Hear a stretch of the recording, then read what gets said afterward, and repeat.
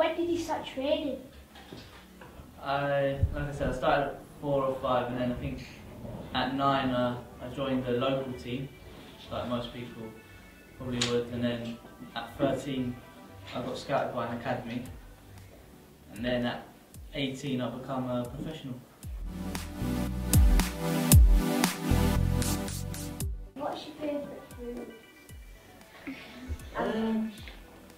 I like all my fruits, but probably oranges and apples, probably.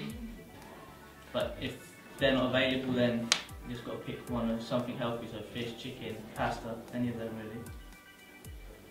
How long do you train for? Every day, normally for about an hour and a half, two hours.